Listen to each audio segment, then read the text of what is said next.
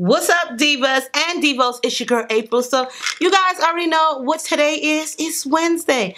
Well, it's actually really Tuesday, uh, 11 11 a.m. But you know what the deal is. I'm about to pop these in my mouth, okay? You guys know I take these. These are Hydroxycut um, weight loss pills.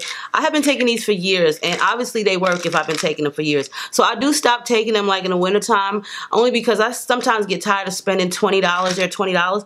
But I bought some from Fry's, which is Kroger's, whatever grocery store you want to call it. They had two bottles for 20 so it was buy one, get one free. They give me energy, so I like to take those. Um, and stuff and it makes me lose weight a lot faster. Um so i still am exercising but i noticed that once i started taking my Hydroxycuts again i started losing like a lot of weight. So i don't know if you guys can tell but like the bottom part of me is still the same. Like I still have that belly area and stuff but all up here is where I lost like weight. Like you can tell like where my neck and stuff is at. Like I've lost the weight. And I don't know maybe it changes. Maybe certain spots of your body goes at different times. Everybody's body is different so I don't really know you know? I really can't tell you but I'm about to pop these pills and drink this water This ain't even water from the bottle. This is water from the sink. And I'm going to tell you something about Arizona. Now, when I tell people that I like tap water, I mean like a bitch do like tap water. But it all depends on what state you're in. You guys know I'm from Queens, New York City, okay? Born and raised in New York City, okay? In July, it'll be four years I've been living in Arizona. When I tell people New York City's tap water is the best, their faucet water. They just look at me like, are you crazy, bitch? No, I'm not. This water from Arizona, first of all, they don't even got no fucking water here. Their water is like recycled, somehow flown the fuck in. I clearly can't explain it, but trust and believe there's no beaches, there's no shit for no water. So their water ain't even their water. They like put all kind of shit in it and just to make it clean. And you can taste it. Like it just tastes like dirty fucking dishwater. Now, I don't know about dirty dishwater. I don't go around drinking dishwater, but I'm just saying that's the feeling that I'm getting when I'm drinking this water. It just tastes really nasty. So you either got to buy bottled water, which I always do, or you get those big jugs with the water dispensers, which I have that too. But I ran out of both and that was so nasty. What's so crazy about it is Mumsy, she'll drink it. Like, she don't even care. Like, it don't even bother her. It don't matter how cold it is or whatever, it still tastes nasty. And really, honestly, before we even began this, I really did want to hit my bomb. You know what I'm saying? Because, but, we're going to do this sober. That's just what we're going to do today. We're going to do this sober. Um, so we're gonna do it sober because I don't really feel like breaking up no weed. Nothing much going on. The same shit. I don't know. I think I gotten so used to wearing these wraps on my head and not and putting a half wig on like I do have on here and just going about my business every day that I have begotten I have been gotten lazy with my beauty shit. Like, you know what I'm saying? Like, I'm starting to feel like I don't care. But it's not even that I don't care. You ever have those moments where you just don't feel like doing extra? Like, listen, that's the reason why I grew back my eyebrows because, listen, I got tired of doing my eyebrows and I got tired of going outside with half of an eyebrow. So I decided to let them grow back in. And as you can see, look at them. They looking real good. Like, okay, so now I am camouflaging the shit out of them because I haven't gotten the chance, the opportunity to get around to going to get them done. Let me tell you something. I'm about to just pull the tweezers out and just redo them myself like I've been doing for the past 20 something years. But I really wanted them to grow back in so that way I really wouldn't have to draw them on. I could just get them kind of like styled and go about my business, you know, and not have to draw so much. But a bitch is trying to save money, you know what I'm saying? Like, I always try to save money. You're just supposed to save money. And I hate I hate giving people my money that I could do it with myself. You know what I'm saying? Like so like that's like me paying somebody to make me a wig. And it's like, um, yeah, I can keep my money and make my own wig. The same thing goes with my eyebrows, my eyebrows. I can keep my money and do my own brows. But I just have not gotten my eyebrows professionally done in like over 20 something years. So I figured let me try this threaded thing out that everybody's talking about. It's what, 15, 20 bucks, something like that. And maybe from there I can just keep the upkeep myself and not have to go back because a bitch is not gonna keep going back and letting you do my motherfucking eyebrows. That's one reason why I don't have my fingernails done because for one, I'm just not high maintenance. I'm good with my fingernails the way they are. Plus, I have to make wigs, so it's kind of hard for me. It's really hard for me to sew with tips on. Now, I do have my own nails, um, which are from the Dollar Tree, and they're much shorter. And I will wear those. I will glue those on in a second, pop those babies on if I'm feeling fancy, but I don't really never be feeling too fancy. How many times y'all done see me wear this motherfucking t-shirt? Um, I guarantee you uh, quite a few times because I have wore this in a Dollar Tree video.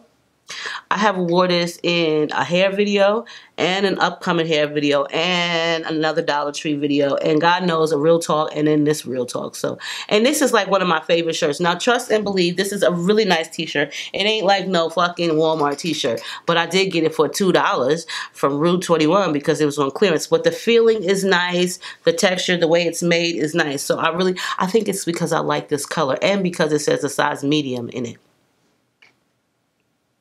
a bitch that can't even fit a medium, but I'm, I'm wearing this only because of the way it's made. Now, trust and believe, if it was a regular medium that's fitted, it would not be in my closet, okay? I haven't really been up to much of nothing.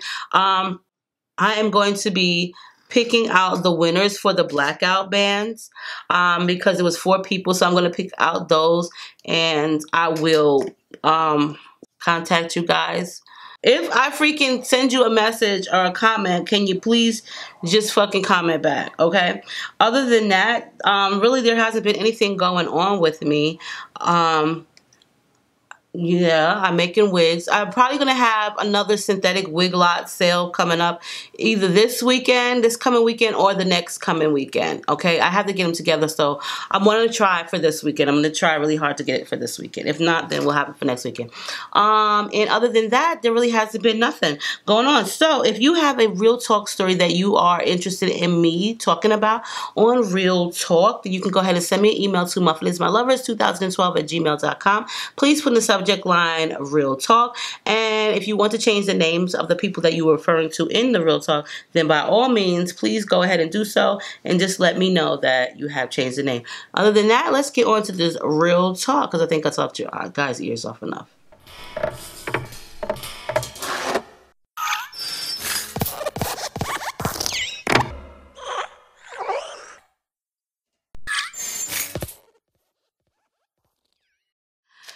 Hi, April. My name is Kayla. It's okay for you to use my name. I'm hoping you can give me some advice on this problem I'm having at work. I work at a rest home for veterans.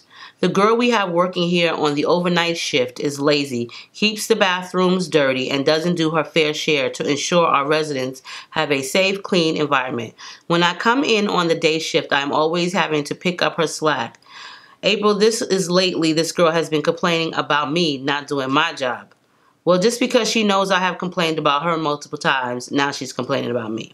Luckily, my supervisor knows my worth ethic and knows she is not being truthful. I am thankful for that, but I am still upset and I want to know how to I want to know how to handle the situation because I feel like I need to have a conversation with her and stand up for myself and tell her not to try and fuck with me like that again.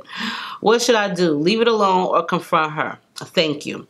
So Kayla has a problem at work. Those are the worst ones when you have an issue at your workplace because first of all, we don't like getting up in the morning or in the evening to go to work in general. We don't like having to work for people in general. So that one right there is a task and we got to kind of like feng shui, wusa ourselves down into acting friendly or just neighborly, whatever the fuck you want to call it. So when we go to work where we are there just to make our bread and butter to survive, it's more or less kind of like a very touchy subject. Like, you either gonna fuck with me at work or you're not. I would really prefer you not to because I don't really come here to make friends with anyone. However, some people are really, really petty.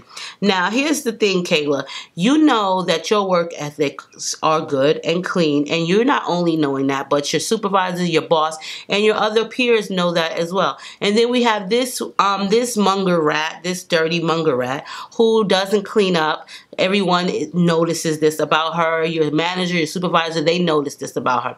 So it's really not much that you need to say. Even if she did go and complain about you, she only went to complain about you because she's being more or less petty. And we as women know bitches be real motherfucking petty. Now, some people, like with myself, I might I might just confront a bitch. Like, why you go tell such and such that I don't be cleaning up when you know damn well that I clean up and I pick up after you. So what are you talking about? Why are you telling them that? You could be on some shit like that. But keep in mind when you confront a person, you never know what you're going to get in return. That's just like going to somebody's house to fight them. You don't know on the other side of that door if they're going to come to the door with a bunch of family members, a bat, or a motherfucking pistol and whip your ass or kill you. So you really don't know what's on the other side of the door. And that goes to say the same thing with your job, with the place of employment. You know what I'm saying? She petty. You know what? Sometimes petty bitches don't even need to be addressed because they so petty, they're not even worth the time. And that's unfortunate, but petty bitches be the worst ones. And those are the bitches that it's like, you know what? I don't even have time for you. You're not even worth my time. And I'm not even about to stoop to your fucking level because you're not even worth it. Those are the petty bitches. And those be the ones where, you know what? They're not even worth giving them that amount of time to go and confront them. Because once you confront them, you're kind of like stooping down to their level. And I say you're stooping down to their level, it's because, for one, they're petty. For two, you're not. For three, you have to go to them and they uh, of course are going to give you some type of attitude some type of reaction and you don't know like i said if this reaction like the other side of the door is going to be one that you're going to like or dis fucking like and why even take the chance of getting yourself in trouble at work for some petty bitch that's not even worth it because I say this, and I'm sorry, but my nose is itching from my allergies. I say it like this. You don't even know if this bitch gonna say something smart to you or not. If she gonna say something you like or dislike. It's not even worth taking a chance because if you say something to this petty bitch, nine times out of ten, she petty like that for making up stories, she definitely gonna say some smart shit back to you. And then what's she gonna say? She might say something that might be petty and it might be harmful and it might piss you off and then it might not. But why even take the chance? Because if she says something petty, you might backlash at her and say some real off the wall shit, which in return might get you in trouble, which in return might get your ass fired, which in return that petty bitch is still at work and you out of a job. And then it's like, damn, this bitch was really not worth me getting that stressed out over and getting in trouble and then losing my job. So some people and some things you just have to be the bigger person and walk the fuck away. I know like with me, sometimes it's really hard for me to walk away from any type of altercation because I like to get the last word in. And on top of that, I don't never like to let anybody know that they got one over on me. That's one of my biggest pet peeves. I'm not about to let you you fucking think that you got over or I'm not about to let you think that you motherfucking won. That's my that's my issue. I'm always the one to get the last fucking word in. I don't give a fuck what it is. If I'm right or I'm wrong, I'm still the one that has to get the last word in. So with the type of person that I'm I am I would probably have to leave the situation alone because I know if this bitch says some smart shit to me, I have a problem with my hands a lot okay? And it's a big issue for me. Like, when I say I have a problem with my hands, meaning not stealing, but I have a problem with my hands, like I cannot keep them to myself some motherfucking times, okay? And if you say some smart shit to me, you know, your mother always told you, keep your hands to yourself. April have that problem where she don't do that. So when I see a bitch and they get smart, I be so quick to smack a bitch. I have done that quite a few times in a public store, in a grocery store, and in a Walmart. So twice, okay? A couple of times, twice or three times. So with me, I would feel like it's best to just leave her alone. However, it probably would eat at me, and I'm probably not the only person that it would eat at. You know what I'm saying? Because a lot of people like us, we don't like to leave confrontation alone. We just, I like to get my point across. And bitch, I'm about to let my point across to you. You're not about to go around here lying on me, talking some shit. But you know what? With petty bitches like that, especially if you have a lot at stake like a job and, and, you need your job to pay your bills to keep you um to keep a roof over your head the lights on and shit like that. So you got to keep all of that in the back of your head like well if i say something to this petty bitch i ain't gonna have nowhere to live. Ain't have no electricity. This the shit that i be scared about a lot of times. This is why i say i be paranoid because i think about shit like that. And like i don't want to feel like if I say something to you, I'm not gonna have a job. That part bothers me too. So, but with this this one right here, um, I really honestly think like you should just leave it the fuck alone. Like you've already got your point across. Your your your supervisor or your manager, they already know your work your working ethics. They already know what type of person you are as well as your coworkers. So, you know what? You've already proved yourself and you proved your worth. You don't have to keep proving yourself by confronting her because she's not worth your time sometimes we got to be the bigger person and we just got to walk away from it because bitches like that don't even be worth fucking arguing with. And I say that about a lot of things in life. Um, even with like old friends, sometimes you just gotta let shit go and not even come, you know, come back and forth with them because sometimes an argument is just best left the fuck alone and try to avoid it. Like with me, I'm a very confrontational person. I'll argue with you. I don't give a fuck. You know what I'm saying? Like, and it ain't that I don't give a fuck. It's just like this. Oh, you want to fucking argue? Well, you think you're right, and I'm about to tell you you're not. And I'm we we, we can have a good old argument, and you can you can voice your opinion, and I'm gonna do the same motherfucking thing. I'm gonna voice my opinion. But you never know. She might be one of those bitches like me who gonna voice her opinion and who don't give a fuck if she was wrong or right for telling on you. But you better not come confront me because I'ma let I'ma light your ass on fire. So she might be a bitch like that. And you know what? Those be the ones that ain't even worth wasting your time with. Not saying that I'm not worth wasting the time, but I kind of do know right from right from wrong. I'm not a snitch. I don't go making up shit, so I wouldn't even be put in that predicament. But honestly, my opinion, you know, you have gotten where you've gotten because of the way you are. People know who you are and your worth work ethics because of how you are. You don't have to prove yourself anymore. If she want to be a derelict and a fucking snitch bitch and a fucking liar and everything else and a lazy fucking good for nothing, then just let her. Let's see how long she lasts at that company. Let her continue on with her foolish shenanigans and just sit back and watch. Some things are just left better alone. And don't feel like a chump or a punk because you walked away. Feel like you're the more mature one because we as women, sometimes we don't carry ourselves ladylike and this this would be the best time to show and prove how ladylike you are. And if another instance, as African American women, I don't know if you're African American who has written this email to me, but as African Americans, sometimes we are expected to act a fool. We are expected to come out of character. We are expected to act the fucked up. And we don't need to give them what they want or what they're looking for all the time about us. So they might expect you to show off. They might expect you to act the fucked up because this bitch done ran her mouth. Listen, don't give people what they're looking for all the time.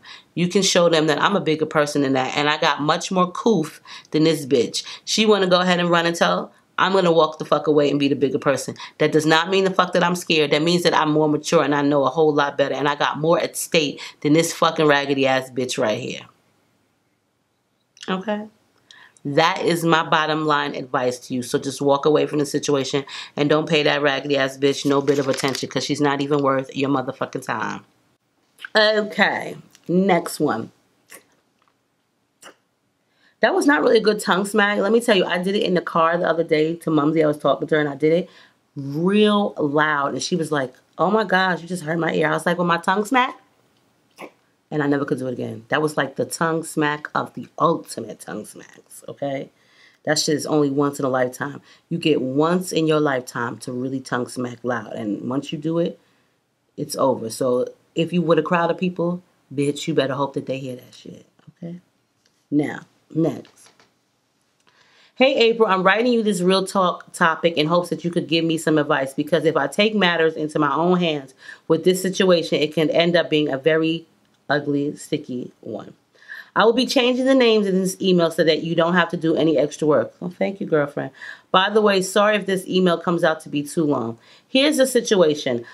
Where did I go? Oh, here's the situation. I have a friend named Dame who I feel in a way envies me and that the attention that I get. Recently, I met a boy who was 21 years old named Mar. And he's a very attractive guy. He's in college working full time, but I have a feeling he could be a bad, a tad bit hoish. I'm 19 years old and my friend Dame is 18, just so you know. Recently, my friend went on a college visit and the guy I've been talking to for some time turned out to be Dame's tour guide. Okay. So in the process of the tour, They must have exchanged numbers and began texting and talking afterwards. When the tour was over, my friend called me and told me that he met a guy named Mar. So I described the guy's appearance and to my friend, and it turned out to be him, Mar. So I kindly asked my friend Dame to cut communication with him because at the end of the day, that's my man. And I would do the same if the situation was flipped.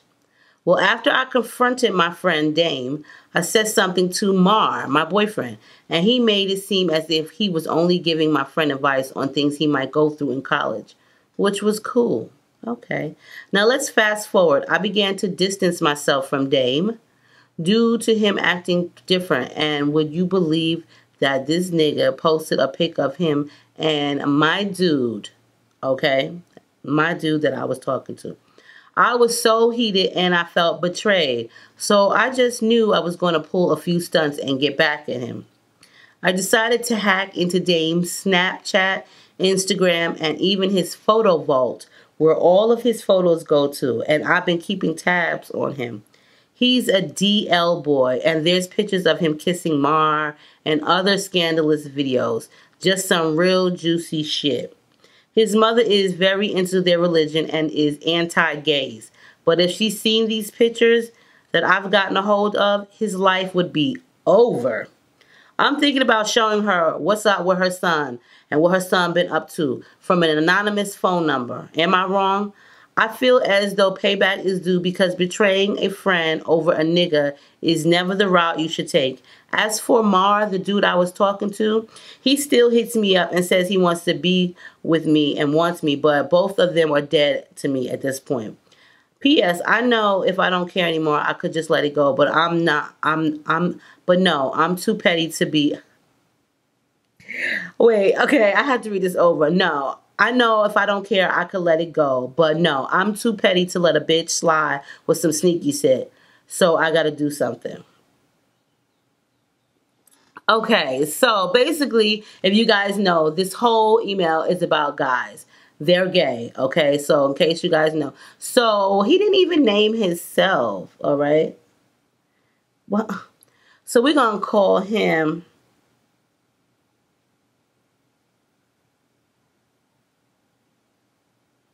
Colin.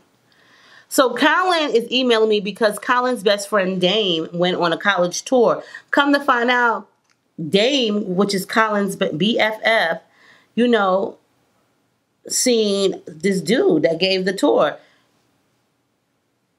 The dude that gave the tour is Colin's boyfriend. You know, he been fucking with him. Colin told his best friend Dame, stay away from him because that's my man, whatever, whatever. Of course, you should get the point from that. Well, his BFF been acting real funny to him lately. Dame been acting real funny to Colin, okay, after he done came back from this college tour. And he done and Colin done found pictures of his best friend and his so-called man posted up on social media. So what did Colin do since he didn't see these pictures on social media and he didn't already told his best friend Dame to stay the fuck away from my man basically. He done hacked into his best friend's Instagram, Snapchat, and his picture vault and is about ready to send his best friend's mother the pictures of her son on a DL because he's on a DL about being gay. And should he do that? No, you should not fucking do that, Colin. You should not do that, okay? I hope I'm not confusing you guys you know it's fucking petty. Why would you do that? Listen, let me tell you something. I don't like petty shit neither. I don't like when bitches do shit to me. But you know what? That teaches me a life lesson. If a bitch can do some grimy shit to you, you don't have to stoop to their level. I just said this. You don't have to stoop to their level and do some grimy shit back to them. You don't have to be like that. What you need to do is distance your motherfucking self from them and just keep it going and keep it pushing and mind your business and worry about what the fuck you be doing. You don't got to be on no petty shit and do some shit to him him to let his mother see his DL pictures because regardless of what he did to you, that's still fucking wrong what you did. And it's what we call karma. Okay, what goes around comes back around. So, okay, that was your best friend, and he did some grimy shit to you. He started fucking with somebody that you liked and that you was fucking with, even though you already told him, and he still did the shit. And then he went so bold as to post pictures of them two on social media. That's a bold move. That's not cool. You don't do no shit like that. But you know what? That's people for you. That's when you realize you have to have like an epiphany. I think that's the right word. If it ain't, then whatever. You know what I'm saying? But you have to think to yourself, you know what? This bitch ain't even worth being friends with. You know what? I'm not even going to stoop to their level and do some fuck shit to them because I wouldn't like that shit done to me. If I had secret pictures about what the fuck that I do in my secret life, do you really think that I would want somebody fucking posting the shit the fuck up? Not saying I got secret pictures, but we all have pictures that we don't want people to see and we don't want shit leaked the fuck out. Like, I'm not going to sit here on YouTube and tell y'all all my deepest secrets. I don't think that's your motherfucking business to know because that's why it's called the motherfucking secret. And so what if he's on a DL and so what if he did what he did? It's not really so what, but here's the thing. You can be petty to the bitch if you want to, but at the end of the day, you gonna be the one that's looking stupid, okay? Because you were so petty to Dame. Let Dame go ahead and figure this shit out on his own because in the long run, he gonna know he he missed out on a good ass friend, okay? Petty bitch and all. Be a petty bitch, Colin. Go ahead and be a petty bitch. But you know what? Be a petty bitch on a whole different kind of fucking level. There's levels to being petty. Like, there's levels to that shit, all right? There's levels to a lot of shit. And we could be on some real petty bullshit and get yourself a new group of friends and be taking pictures in social media with them and enjoying your life. And when this motherfucking bitch call you, when Dame call your ass, you don't have time for that shit, okay? You don't have time for that shit. And you can still throw shade without throwing some real fuckery shade. Like, you know what I'm saying? Like, go on social media and just say, bitches is real fucking petty and grimy. That's why my circle is this small. And you could direct that shit to them or you can indirect it to them. But I'm pretty sure that he'll get the fucking point because I have already done that myself. But you don't have to dig deep. And I say dig deep, don't dig deep because for one, you think that you hurting your best friend by showing his DL pictures to his mom and shit like that. You might be hurting him, but you also hurting his mom. And she didn't do nothing to you to deserve that shit. She don't deserve that shit. So don't bring his mother in the middle of it and hurt her. She a really religious woman. Do you know? I'm not overly religious. Um, there are things that I believe in. There are things that I don't believe in. But I'm pretty sure somebody was to show something uh, to me or one of my kids that I really didn't approve of, it would break my heart. And you don't know what breaking somebody's heart could do to them in general. You don't know if that shit that you might show her might send her into a heart attack or whatever. You don't really know. So don't put his mother involved in the shit. Keep his mother out of it because she's not the one that was doing the trifling shit to you. So she doesn't deserve this. And if you know that lady, then don't stoop to that level and do some grimy shit. Because then you're going to be known as the motherfucking grimy bitch. All right? So don't stoop to that level. But here's the thing. You need to learn from this point on how to choose your friends. You choose your friends real motherfucking wisely. That's why, like I say all the fucking time, my circle is like a motherfucking dot. I don't fuck with bitches like that, okay? I have but a couple of friends my best friend out here, which is Rebecca, and then my good friend, my other friend that y'all always know that I talk about, Miss Shay Love. Them two. Those is the only two bitches that I fucks with, okay? And I do have my other friend Nicole out here, but I don't even fuck with her like that no more because I don't like shit. I just don't like shady shit. If I feel like you acting shady towards me, then I just cut you the fuck off and I don't fuck with you no more. But you know what I'm saying? Like I tell y'all all the time, my fucking friendship circle is a dot. I have two motherfucking friends, maybe even three because my daughter Tati, she is my friend too. But other than that, and I have I have more than three friends. because I consider, well, I consider all of you guys my friends and my family. But physical that are like near me, them two are the bitches three bitches that I fucks with, I hang with on a daily basis. But you know what? You have to learn. I have learned a lot of life lessons from dealing with friendships. You know, some have hurt me to the point where I couldn't believe that that should happen. Some of them I was just like, fuck you, whatever, bitch. You really wasn't worth my time. No, I already knew you was a grimy bitch. But in the end, I didn't even throw that much shade at them. I didn't do nothing to really get back at them because I know the type of person I am and I wouldn't want that shit happening to me. And I always believe in karma. What goes around comes back the fuck around all the time. You might, that shit might not come back the fuck around when you want it to, but that shit will eventually come the fuck back around. And that bitch or that nigga gonna suffer too. So don't put yourself out there like that and feel like you have to seek revenge because the bigger bitch is the bitch that walks the fuck away. So, Colin, fuck that bitch. Don't worry about her or him or who fuck ever. Dame, your friend, your bestie, well, you know what? Sorry about that. That was another doctor's appointment for my freaking knee. Okay. Um, because I had to go in for my knee um, to get my shot but like I was saying, sometimes we have to learn a lesson and just let bygones be bygones and let petty bitches just be fucking petty bitches and leave them the fuck alone. That's sometimes the best life lesson because we come across many friends and we feel like they are friends, we love them, yada yada yada, they cool. And then you know you figure out and you find out down the road that oh, okay, this bitch is petty and she ain't even worth my motherfucking time. So leave that petty bitch alone. Let her figure out her shit she gonna have karma because goes around comes back the fuck around. And don't worry about the shit no more. Just leave it alone. But don't stoop down and don't be that grimy bitch. That's just my motherfucking opinion. My opinion on the tape. So, yes, bitches. Okay, I'm only going to do two real talks because I think I've talked you guys' ears off enough today. And plus, I gotta get ready to go get my boo from school, which is Mumsy Boo. But I love you guys, and I will see you soon. I got some videos that I need to edit today, so make sure you check it out. And yes, um, other than that, stay diva and divalicious. She want a bad man to come my videos. I'm feeling all this, you already know this. She want a bad man to come my videos. You want murder me, eh, eh, eh, eh.